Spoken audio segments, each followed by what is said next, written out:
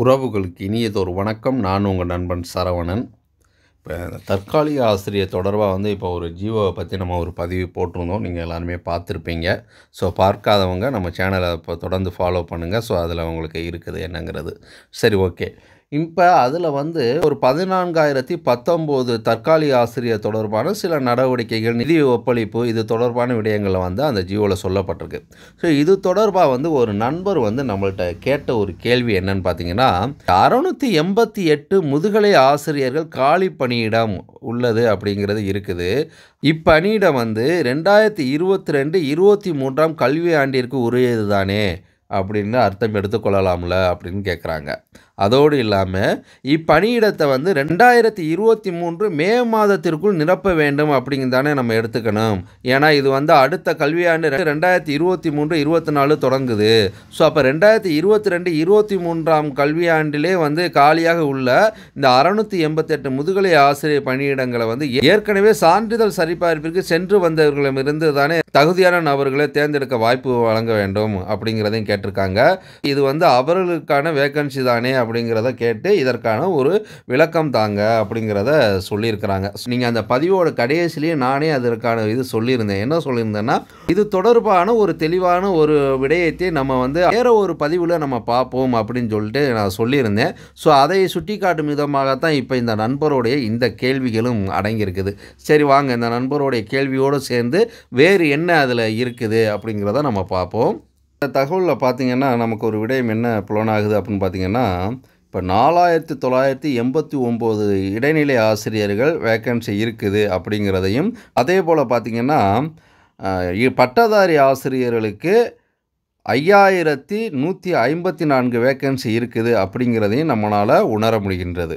முதுகலை ஆசிரியர்களுக்கு ஸோ அது என்ன சொல்லியிருக்காங்கன்னா அதிலே வந்து தரம் பிரிச்சிருக்காங்க. முதுகலை பட்டதாரி ஆசிரியர்கள் அதாவது நேரடி நியமனத்துக்கு முன்னாடி வந்து பார்த்திங்கன்னா மூவாயிரத்து நூற்றி எண்பத்தி எட்டு ஆசிரியர்கள் அப்படிங்கிறது சொல்லப்பட்டிருக்கு. அடுத்து வந்து பார்த்திங்கன்னா நேரடி நியமனத்துக்கு பின் இப்போ இருக்கக்கூடியது அறநூற்றி எண்பத்தி எட்டுன்னு சொல்லப்பட்டிருக்கு.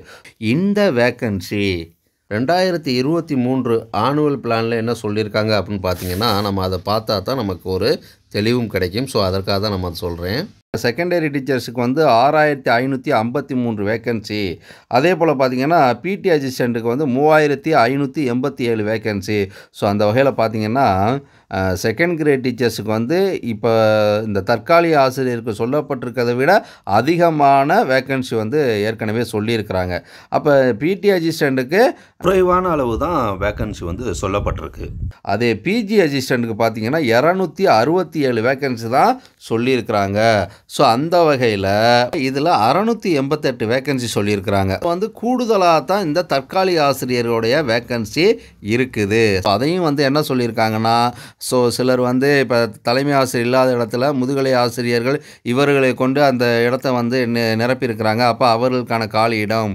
அடுத்து வந்து பார்த்திங்கன்னா மகப்பேறு விடுப்பில் வந்து ஆசிரியர்கள் இருக்கக்கூடியதில் ஸோ அதற்கான இடம். ஸோ இதையெல்லாம் பொறுத்து தான் வந்து அறநூற்றி எண்பத்தெட்டு தற்காலிக ஆசிரியர் வந்து இப்போ சொல்லியிருக்கிறாங்க. ஸோ அந்த வகையில் இப்போ நமக்கு இந்த சகோதரர் கேட்டிருந்தாங்க இல்லையா? ஸோ அப்படி கேட்கப்பட்ட அந்த விடயத்துக்குள்ளே நம்ம வருவோம். அதாவது சகோதரருடைய இந்த கேள்வி நியாயமான ஒரு கேள்வி தான் என்னென்னா டிஆர்பி ரெண்டாயிரத்தி இருபத்தி ஒன்று அந்த நோட்டிஃபிகேஷனில் வேக்கன்சி வந்து பார்த்திங்கன்னா மூவாயிரத்தி இரநூத்தி முப்பத்தி ஏழு சொல்லியிருக்கிறாங்க. இந்த தற்காலிக ஆசிரியர்கள் வந்து பார்த்திங்கன்னா முதுகலை பட்டாதாரி ஆசிரியர்கள் தேர்வு செய்வதற்கு முன்னாடி பார்த்திங்கன்னா தற்காலிக ஆசிரியர்கள் எவ்வளவு? மூவாயிரத்து நூற்றி எண்பத்தி எட்டு அப்படிங்கிறது சொல்லியிருக்காங்க. ஸோ இந்த தற்காலிக ஆசிரியரோட கூட ஒரு நாற்பத்தொம்போது வேக்கன்சி வந்து ரெண்டாயிரத்தி இருபத்தொன்று பிஜிடிஆர்பி அனௌன்ஸ்மெண்ட்டில் சொல்லப்பட்டது தானே. அப்போ அப்போ இருந்த இந்த ரெண்டாயிரத்தி இருபத்தி மூன்றாம் கல்வியாண்டில் இருந்த இந்த அறநூற்றி எண்பத்தெட்டு வேக்கன்சி இந்த இப்போ எழுதிய பிஜிடிஆர்பிலேயே இருக்கக்கூடியவர்களுக்கு செலெக்ஷன் லிஸ்ட்டில் ஏற்கனவே அழைத்தவர்களுக்கு அவர்களுக்கு இதை ஃபில்ஃபில் பண்ணணும் இல்லையா? ஸோ இதுதான் அவருடைய கேள்வி. கண்டிப்பாக வந்து இது அதற்கான சோர்ஸ் இருக்கக்கூடிய ஒரு வேக்கன்சி தான். பட் என்ன அப்படின்னா பல கோர்ட்டு நடைமுறைகள் இப்படியெல்லாம் இருக்கிறதுனால தான் இந்த செகண்ட் செலெக்ஷன் லிஸ்ட்டுங்கிற அந்த ஃபார்முலாக்குள்ளேயே இன்னும் போகலை. ஸோ அது நம்ம க உன்னிப்பாக கவனிக்க வேண்டியிருக்குது. ஏன்னா ரெண்டாயிரத்தி இருபத்தி மூன்று இருபத்தி நாலுக்கான அந்த ஆனுவல் பிளானரில் நீங்கள் பார்த்தாலே தெரியும் இரநூத்தி அறுபத்தி ஏழு வேகன்சி தான் சொல்லியிருக்கிறாங்க. அறுநூத்தி எண்பத்தெட்டு வேகன்சிங்கிறது சுட்டி காட்டப்படலை சரிங்களா? அப்போ இந்த வேகன்சி வந்து முதுகலை பட்டதாரி ஆசிரியர்கள் வந்து நியமிப்பதற்கு முன்னாடி உள்ள அந்த தற்காலிக ஆசிரியர் இருக்காங்க இல்லையா? அதையும் ரெண்டாயிரத்தி இருபத்தொன்று பிஜிடிஆர்பி நோட்டிஃபிகேஷன் சொல்லப்பட்டதுலையும் பார்த்தீங்கன்னா நாற்பத்தி ஒன்பது வேகன்சி வந்து தற்காலிக ஆசிரியர் நியமிக்கப்படாமல் இருந்தது. ஸோ குறைவாக தான் நியமிச்சிருக்காங்க. இப்போ இந்த நாற்பத்தி ஒன்பது தான் இந்த அறநூற்றி எண்பத்தெட்டுலையும் இருக்குது. ரைட்டுங்களா?